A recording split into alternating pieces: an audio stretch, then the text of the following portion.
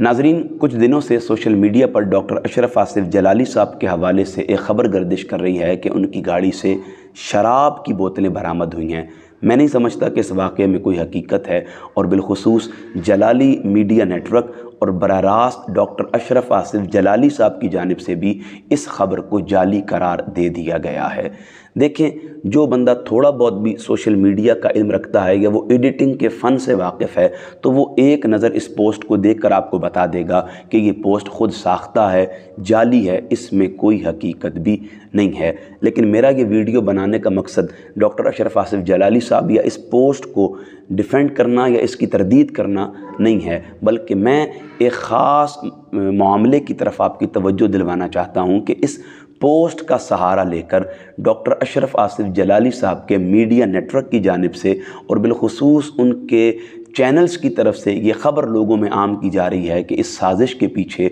Doctor तहरुल Qadri का बर रास्त हाथ है और बाकायदा थंबनेल बनाए जा रहे हैं और उस पर डॉक्टर साहब की तस्वीरों को लगाया जा रहा है। देखें, मैं यहाँ एक बात बड़ी वाज कर दूँ।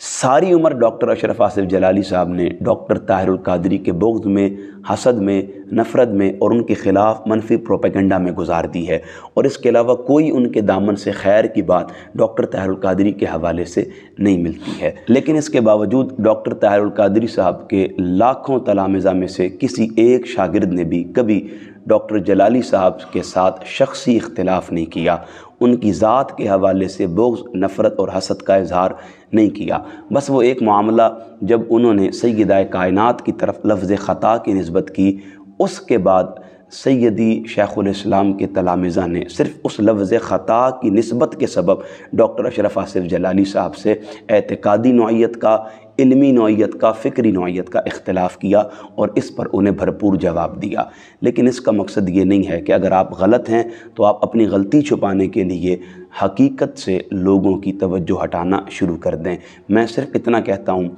कि आप हर ख़बर को फैलाएँ, लेकिन उस ख़बर से पहले उस ख़बर की हकीकत को ज़रूर जान लें। आज तक कभी आपसे बुग्ज़ हसद और नफ़रत का इजहार नहीं किया, आइंदा भी कभी आप इस चीज़ को हमारी ज़ात से सरजर्द होता नहीं देखेंगे।